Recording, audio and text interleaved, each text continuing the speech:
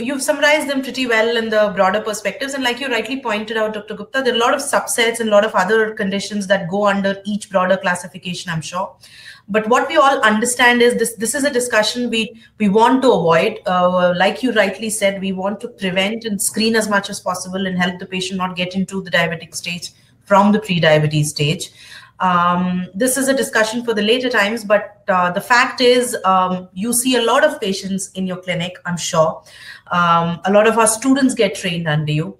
May I ask you, um, do you think the amount of screening that happens wherever it is, wherever the patients are coming from, do you think that is enough or do you think we need to do more? No, no, it's, it's highly inadequate. I think I think uh, over a period of time in last 20 years, I've been with Apollo and I think uh, Apollo is one of the pioneers in uh, in preventive health checkups in the in, in the country. And I think, for example, I can tell you about Delhi. In Delhi Apollo, we have around 100 odd patients undergoing a screening every day. Mm. Now, 100 odd in Apollo, and Apollo is a pioneer. You can imagine mm. what school population yeah. we're looking at actually. And yeah. uh, all, the, all the hospitals in India, the, all the centers, private. So I think it's a little bit uh, on the mass base, which people also uh, need to kind of go through. But I think it's a lot to do with individual doctors also. I think an individual clinician can go a long way in trying to kind of uh, uh run through uh, screening uh, profiles in most of the patients. Fortunately, the cost for hmm. screening have gone down quite a lot. I think now right. in, every, in every place in India, I think you can you can get a series of tests done uh, for for not that much of an amount. I think for 1500, 2000 rupees, uh, probably right. one undergo a lot of checkups which are, which are available with us because of the mass base of all this. So I think right. it's still minuscule, but but I think that started and people have started to kind of doing it. Quite a few times, patients who are educated and especially in big cities, they undergo such checkups on their own. And even right. if, uh, if they are told to, to get a few tests done because of whatever clinical condition they have, and they are kind of sold the packages that why don't you undergo all this? It's the same cost, etc. And sometimes you pick up on those also. So the answer to your right. question is that no, as of now, it's far, far away from uh, what is an ideal yeah. situation. But but I think this the beginning is already there. Right, right. So I, that's. I, am sorry, I'm sorry. I also must make a mention. People think that you know these are uh, diabetes is a more urban disease, but I think that's not sure. It's, it's, I think it's rural, urban. It's just that pickup rates in urban areas started early. Yeah. But now probably yeah. the pickup rates are as good or as bad as anywhere else actually. So the divide. Yeah, no, I agree with you totally. Yeah, sure. Please go ahead. So the divide is much less now, and the pickup rates are there everywhere actually. So it's a pan-India kind of thing, and it's not about north, south, east, west, whatever. I think uh, I go and do clinics in Guwahati, and I've been to some other places as well. And I think all over, I think this uh, this is really a pandemic uh, which is there in our country. I think diabetes is there to stay.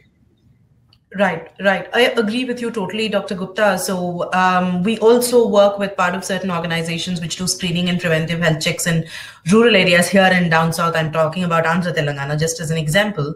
Um, it was an eye opener for us five years ago when we started taking part in these uh, camps. That it, it, surprised us and shocked us to see that we see we saw as many patients get screened uh, in the rural areas. I'm talking about really remote villages and all kinds of populations who've been diagnosed with diabetes and many of them already into complications. Uh, so yeah, I totally agree with you. Uh, I don't um, agree that you know it's just an urban disease. It's not anymore. So you've rightly put. Now that we know that uh, it's there everywhere, and uh, like you've mentioned in the beginning of the session, we are probably uh, absolutely we are the world's second. Um, you know, we stand second in the world next to China in terms of diabetic uh, burden, disease burden.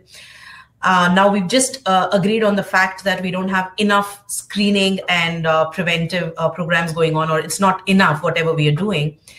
You think there is a role for every uh, clinician or physician can they play a role in handling and managing the situation better? When i say clinician it could be anybody and everybody who's a healthcare professional a clinician in any kind of a setting doesn't have to be in a city and they could be qualified as anything.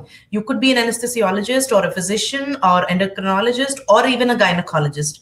Can you please comment on that fact uh, dr gupta? Can trained professionals uh, make a difference I think I think the role of the primary care physician cannot be overemphasized.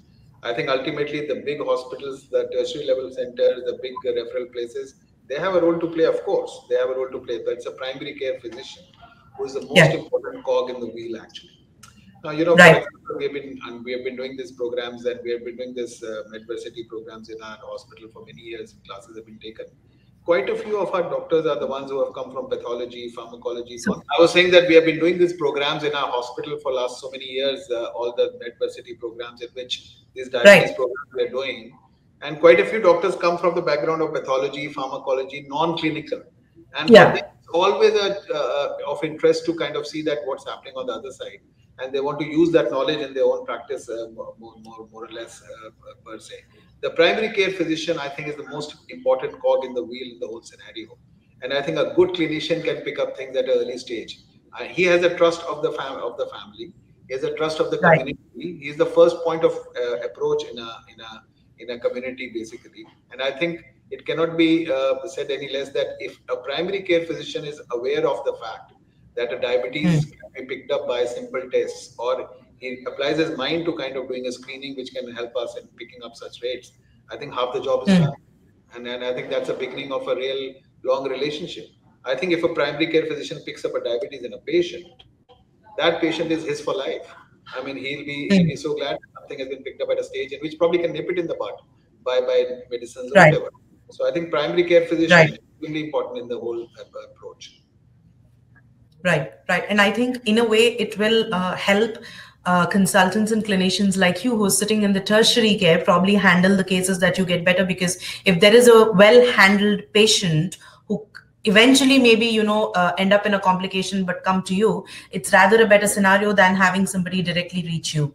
because that we see that a lot as well here even in tertiary care here down south as well wherein patients come with you know end stage diseases and complications. Um, maybe a simple uh, screening tool at the right time. Like you said identifying a red flag at the right time probably would have saved us a lot of the efforts and it would have made uh, efforts of the tertiary care physicians easier as well. So i think we all need to work together as a network wherever we are placed. Like you rightly said it starts with the primary care physician and uh, the, the chain the link does go uh, upwards